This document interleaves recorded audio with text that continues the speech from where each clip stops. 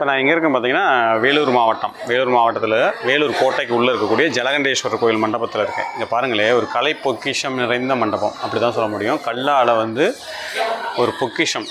எப்படி சொல்கிறதுன்னா இது பார்க்குறதுக்கு பிரமிப்பாகவும் ஆச்சரியமாகவும் இருக்குங்க பாருங்களேன் இதை பாருங்கள் ஒரு வீரர்கள் போருக்கு போகிற வீரர்கள் இதில் அமைச்சிருக்காங்க. சிற்பங்கள். அதில் பாருங்கள் ஒவ்வொரு தூணுலையும் ஒவ்வொரு கலை பொக்கிஷம் புதஞ்சும் நிறைஞ்சும் கிடக்குங்க பாருங்கள் இதெல்லாம் பாருங்களேன். ஒரு சின்ன தூண் தான். அதில் அதை வந்து எப்படி பண்ணியிருப்பான்னு தெரில இதை வந்து எந்த அளவுக்கு நுட்பமாகவும் எந்த அளவுக்கு இதில் வந்து கேப் விட்டு பண்ணியிருக்காங்க பாருங்கள் பாருங்க இந்த விரல் வந்து இந்த பக்கம் இந்த பக்கம் வருது பார்த்தீங்களா இதெல்லாம் எந்த ஒளி வச்சு செஞ்சுருப்பான்? அப்படின்னு தான் ஆச்சரியம். எல்லாத்துலேயுமே அப்படி தான் இருக்குது இதில் பாருங்கள் எவ்வளோ ஒரு ஒரு சின்ன சின்ன ஒரு இன்ச்சு அரை இன்ச்சுகள் உள்ள அழகிய கிளை வேலைப்பாடு மிக்க சிற்ப வேலைப்பாடுகள் தான் அதிகமாக இருக்குது இதை பாருங்கள் இதெல்லாம் எப்படி பண்ணியிருப்பாங்க? இந்த பக்கம் பாருங்களேன். ஒரு யாழி யாழிக்கு மேலே ஒரு வீரர்கள் ரெண்டு பேர் இருக்கிறாங்க. அதில் பாருங்கள் பூங்கொத்துக்களை வச்சு எப்படி நுட்பமாக அதெல்லாம் வந்து ஒரு நம்ம மிராக்கலாக தான் இருக்குது ரெண்டாவது இதெல்லாம் வந்து இரும்பில் தான் பண்ணுவாங்க. இரும்பில் வந்து அந்த நம்ம கிரில் வேலைப்பாடுகள் அந்த மாதிரி கிரில் வேலைப்பாடுகள் பார்க்குறதுக்கு இது கல்லுலேயே பண்ணியிருக்காங்க. ரொம்ப ஆச்சரியமாகவும் இதாக இருக்குது சின்ன சின்ன சிலைகள் இதெல்லாம் பார்க்குறதுக்கு ரொம்ப அற்பு- அற்புதமாக இருக்குது இந்த பக்கம் பாருங்கள் இங்கேயும் பாருங்கள் கலைநயம் மிக்க ஒரு இதுதான் அங்கேயும் பார்க்க முடியுது. இல்லை அந்த மண்டபமே பார்க்குறதுக்கு கலைநாயமும் கையால் கலை பொக்கிஷமாகவும் தான் நம்ம இது இது வந்து என்னென்னா தமிழருடைய கட்டிடக்கலைக்கு இதுக்கெல்லாம் வித்திட்டதாக தான் நம்ம பார்க்க முடியும் அப்போ எந்த அளவுக்கு சிற்பக்கலை வந்து தமிழ்நாட்டில் இருந்திருக்குன்றதுக்கு இதான் சான்றுகள். இங்கே பாருங்கள் ஒரே கல் தான். இது வரைக்கும் கீழே ஒரே கல்லில் தான் எடுத்திருக்காங்க. இதில் எவ்வளோ கலைநயமாக அந்த உருவாக்கி கொண்டு வந்திருக்காங்க அங்கே பாருங்கள் இதெல்லாம் ஒவ்வொரு இடத்துலையும் ஒவ்வொரு கலை பொக்கிஷம். பாருங்க சிங்கம். இந்த சிங்கத்துக்கு மேலே இந்த ரெண்டு மூணு தூணம் அமைச்சிருக்காங்க. இதெல்லாம் வந்து இப்போது நம்ம ஒரு க வீடு கட்டுறதுக்கோ இதுக்கோ எத்தனையோ பேர் உதவியை வச்சு மிஷின்களை வச்சு வீட்டை கட்டி முடிச்சிடுறோம். அன்னைக்கு இந்த மண்டபம்லாம் கட்டுறதுக்கு இந்த ஒரு தூணை இது பண்ணுறதுக்கு எத்தனை வருஷங்கள் ஆயிருக்குன்றது தெரியல. ஆனால் எல்லாமே நல்ல சைனிங்காகவும் வலுவழுப்பாகவும் பார்க்க நேர்த்தியாகவும் அமைச்சிருக்காங்க. இங்கே பாருங்கள் இது ஒரே கல்லில் இந்த ஜாயிண்ட்டும் இல்லாமல் இந்த இதை வடிவமைச்சிருக்காங்க. மூணு தூ தூண் வந்து அதுக்குள்ளே வந்து ஒரு பெரிய தூண் வர மாதிரி வடிவம் பண்ணியிருக்காங்க இது போக பாருங்கள் உள்ளே வந்து பார்த்திங்கன்னா இதை காட்டில் ரொம்ப ஆச்சரியங்கள் நிறைஞ்சிருக்கு. இங்கே வந்து பாருங்களேன். ஒரு குதிரை மாரி ஒரு வீரன் உட்காந்துருக்கான் அந்த கயிறு கூட எந்த அளவுக்கு நுட்பமாக அந்த கயிறு வடிவமைக்கப்பட்டிருக்கு அதில் பாருங்கள் கய கயிறு. எந்த அளவுக்கு நுட்பமாக அந்த கயிறோட வரிகள் எப்படி இருக்கும்? ஒரிஜினாலிட்டியாக அந்த மாதிரி வடிவமைச்சிருக்கிறாங்க. இங்கே பாருங்கள் ஒரு இன்ச்சு சிற்பம். ஒரு இன்ச்சு தான் இருக்குது அது. ஒவ்வொரு இன்ச்சுக்கு ஒவ்வொரு சிற்பம். ஒரு இன்ச்சில் அமைக்கப்பட்ட சிற்பங்களா பாருங்கள் இந்த பக்கம் பாருங்கள் அதே போல் தான் இங்கேயும் வந்து ஒரு டான்ஸர் ஒரு குரூப்பு டான்ஸ் ஆடுறாங்க.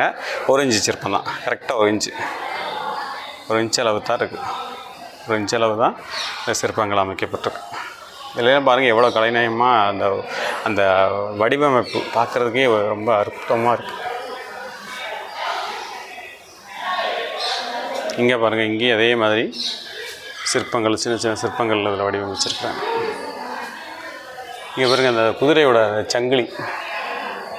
அந்த மேலே வந்து அந்த சங்கிலி கல்லிலே வடிவமைச்சு அந்த கடிவாளம் சொல்லுவாங்கல்ல அந்த கடிவாளத்தை வந்து கல்லிலே அமைச்சு ஒரு வீரர்களுடைய கட்டுப்பாட்டில் இருக்கிற போல் அமைச்சிருக்காங்க. இந்த யானைக்கு வைப்பாங்க இல்லையா மேலே?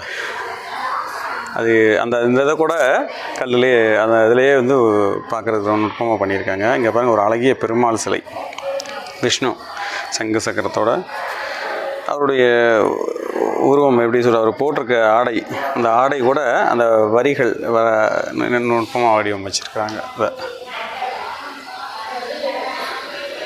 இந்த மண்டபத்தை பார்க்குறதுக்கு ரொம்ப ஆச்சரியமாக இருக்குது அதே போல் பாருங்கள் இந்த மேலே பாருங்கள் அந்த சைடை கூட எந்த அளவுக்கு நுட்பமாக ஒரே நேர்த்தியாக கல்களில் செஞ்சு அதை அப்படியே ஒன்றா ஜாயின் பண்ணியிருக்காங்க.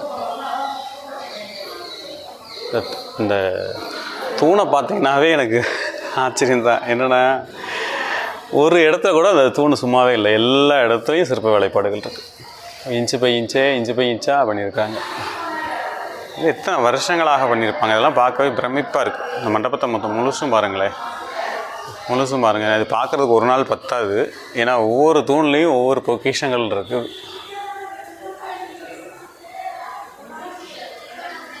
இங்கே பாருங்கள் அப்படி வடிவமைப்பு பண்ணியிருக்காங்க. கருடாழ்வார் வந்து பெருமாளை சுமக்கிறது போல் அதெல்லாம் வடிவமைப்பு பண்ணியிருக்காங்க. இதுக்கெல்லாம் அந்த கேப் அங்கே பாருங்கள் காலோட கேப்பெல்லாம் அப்படியே இதில் அந்த இந்த கை இந்த இடுப்பில் போட்டிருக்க அறை அதை கூட நுட்பமாக பண்ணியிருக்கிறாங்க. இங்கே பாருங்கள் இந்த பக்கம் ராமன். ராமனோட சிலை அவர் கையில் பாருங்கள் வில்லு. அழகாக நேர்த்தியாகவும் அதுக்கு பின்னாடி பேக்ரவுண்டு எவ்வளோ அழகாக டிசைன் கொடுத்துருக்காங்க பாருங்கள் கதை வச்சுருக்கிறாரு. காலுக்கு பாருங்கள் கால் கடையில் நம்ம கை உள்ளே போகும். அந்த அளவுக்கு நுட்பம் பண்ணி ஏன்னா லை லைட்டாக அது டச் ஆனாலும் அந்த கால் உடஞ்சி போகும். இப்போ எந்த அளவுக்கு நுட்பமாக இருக்குது பாருங்கள் ஒவ்வொரு பொக்கிஷங்களும் பார்க்குறதுக்கு இந்த கலை பொக்கிஷங்களை பார்க்குறதுக்கே ஒரு நாள் ஃபுல்லாக பத்தாது.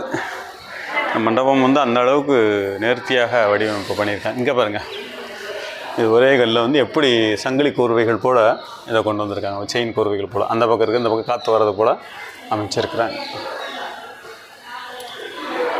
அதே மாதிரி இங்கேயும் பாருங்கள் இந்த பக்கம். அதே மாதிரி இந்த டிசைனை பாருங்கள் இதெல்லாம் வந்து நம்ம வந்து இதில் தான் பார்க்க முடியும். இரும்பில் தான் பண்ணுவாங்க. இதை வந்து நம்ம கல்லுலேயே வந்து இது ஒரே கல் தான். ஃபுல்லாக ஒரே கல்லில் இந்த மாதிரி வடிவம் பண்ணியிருக்காங்க இங்கே மேலே பாருங்கள் இன்னும் ஒரு ஆச்சரியம். மேலே பாருங்கள் பார்க்குறதுக்கே பிரமிப்பாக இருக்குது அந்த இதெல்லாம். நீங்களும் ஒரு நாள் வந்து பாருங்கள் இதெல்லாம். பார்த்துட்டு இந்த இதெல்லாம் வந்து நம்ம என்ன சொல்கிறது முன்னோர்கள் இதெல்லாம் ஏன் வடிவமைச்சு வச்சுருக்கிறாங்க அப்படின்னா அந்த கலை நயம் அழிந்து போகக்கூடாது அப்படின்றதுக்காக தான் அதெல்லாம் வடிவமைச்சு வச்சுருக்காங்க. இப்போல்லாம் இந்த வேலை செய்கிறவங்க இருக்கிறாங்களான்னா தெரியாது. ஆனால் இதெல்லாம் வந்து செய்கிறதுக்கே எத்தனை வருஷங்கள் இருக்கும் பார்க்குறதுக்கு ரொம்ப ஆச்சரியமாக இருக்குது ஒவ்வொரு தூண்லேயும் வந்து அந்த பொக்கிஷங்கள் கலை பொக்கிஷம் சிற்ப வேலைப்பாடுகள் நுணுக்கமான வேலைப்பாடுகள் நுண்ணிய வேலைப்பாடுகள். நுணுக்கம்னா இது வெளியே சொல்லுவாங்க. நுண்ணிய வேலைப்பாடு சின்ன சின்ன இதுகளை வந்து நுண்ணிய வேலைப்பாடுகள் சொல்லுவாங்க. அந்த சின்ன சின்ன சிற்பங்கள் அமைச்சிருக்க அது நுண்ணிய வேலைப்பாடுகள். இங்கே பாருங்களே என்ன அழகாக அதை பண்ணியிருக்காங்க. பார்க்குறதுக்கு ரொம்ப ஆச்சரியங்கள் நிறைந்த மண்டபமாக இருக்குது நீங்களும் ஒரு நாள் வந்து பாருங்கள் பார்த்து இந்த இதெல்லாம் நம்மளுக்கு காண கிடைக்கணும். இதெல்லாம் வந்து நம்ம முன்னோர்கள் செய்து வச்ச ஒரு சாதனை தான். உலக சாதனை தான் சொல்ல முடியுது அதிசயம் அதிசயம். தான் சொல்லலாம். நம்ம எத்தனையோ அதிசயங்களை சொல்லியிருப்போம். இந்த அதிசயங்கள்லாம் பார்க்கணுன்னா நம்ம ஊர்லேயே வந்து பார்த்துக்க வேண்டியதான் உலகத்தில் நிறைய அதிசயங்கள் இருக்குது இதுவும் ஒரு அதிசயம் தான். ஏன்னா ஒரு ஒரு ஒன்றை வந்து திருப்பி உருவாக்க முடியாதான் அதிசயம். ஒரு ஒரு ஒருத்தர் உருவாக்கிட்டாங்கன்னா அது திருப்பி உருவாக்க முடியாமல் இருந்தால் அது அதிசயம். அந்த மாதிரி தான் இந்த மண்டபம் சாட்சியாக இருக்குது இந்த மண்டபத்தை திருப்பி இது மாதிரி உருவாக்க முடியுமான்றது முடியாது கண்டிப்பாக ஏன்னா அந்த அளவுக்கு நுட்பமான இதெல்லாம் வந்து இங்கே காணப்படுது. சிற்ப வேலைப்பாடுகள் ஒரு இன்ச்சிலேருந்து ஒரு சின்ன இவ்வளோ ஒரு காலஞ்சு வரைக்கும் இருக்கிற சிற்பங்கள் கூட நிறைய பா பார்க்க முடிகிறது. ஓகே நீங்களும் வந்து பாருங்கள் அந்த மண்டபத்தை. பார்த்து ஏன்னா ஒரு நாள் ஃபுல்லாக உட்காந்து பார்க்குறதுக்கு நிறைய ஆச்சரியம் நிறைந்த மண்டபம் தான். வந்து பார்த்து நீங்களும் பயன்பெறுங்க. இந்த இதை வந்து வேலூரில் வந்து ஜலகண்டேஸ்வரர் கோயிலுக்குள்ளே இருக்கக்கூடிய மண்டபத்தில் தான் மண்டபத்தில் தான் இந்த வேலைப்பாடுகள் அருமையாக இருக்குது நீங்களும் ஒரு நாள் வந்து கண்டிப்பாக பாருங்கள்